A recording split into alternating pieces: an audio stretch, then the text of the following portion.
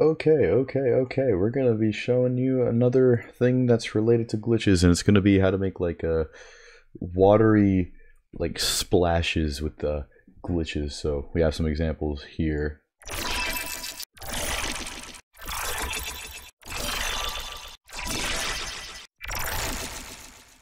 So we're gonna be making some uh some stuff like that. So uh, let me just remove the unwanted stuff here. All right, so if you didn't watch the glitch tutorial, I kind of showed it there, but basically to run it down, we have a, uh, this is the rack, Vocodex, Snap Heap, Effector, all that stuff. Remove the effector, uh, that's the first thing for it. If you watched the tutorial, I'm doing that so I don't lag. Uh, and then for the Snap Heap, that's Vocodex, you're gonna just kind of crank all this stuff to a like a shit ton. Uh, I, I was in a VC with Novasai, and he did that, and I was like, oh, that actually might sound pretty cool for some sound design stuff. So uh, yeah, do that. Makes everything sound pretty watery, and then again, pitch map because pitch map is awesome. And then pitch map, don't put it all the way. I'll, I'll show you what it sounds like all the way, and you'll realize it sounds like shit. See, that sounds like shit. But around here is where it sounds really good. See how good that sounds? Next, you're going to open up Edison, and instead of playing an entire thing like I would usually do, you want to kind of record it like this.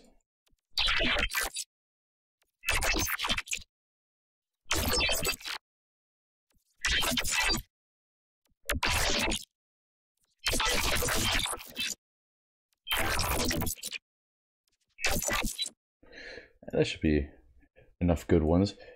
So you can already hear that it sounds like a whoa, that it sounds like some watery stuff. I have a sample in here. That's without the post-processing that we're going to do on this. But what you're going to want to do is just grab one of these.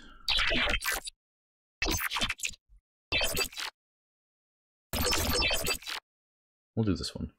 Uh, yeah, just grab one of those and then just kind of do this little thing to it. Next, we're going to route that to where I did the processing.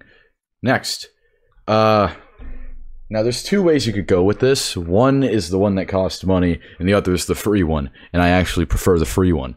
So first, you could do a crystallizer. I don't like this one, but it'll sound like this.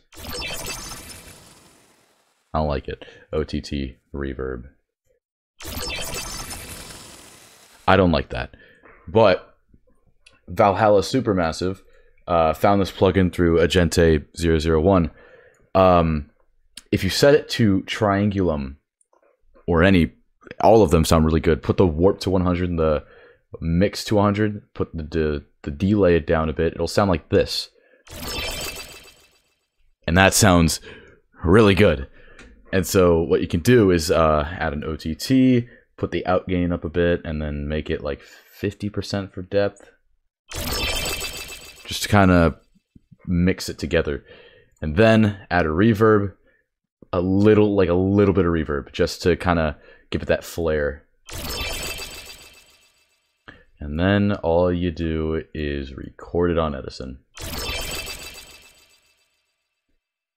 And then we go here and that's our 10th water sample right there. So uh, yeah, short tutorial on how to make watery vocal, not vocals, uh, watery little the, the effects because really really cool. And then you could also use this with your glitches. There's so many things, so uh, so many things you can do that I do want to show you at some point. The glitches video is doing pretty good, so if this one does good as well, I'll try to see if I can maybe set something up to teach you guys more. So uh, yeah, that hi. This is me re-recording. I meant to say bye.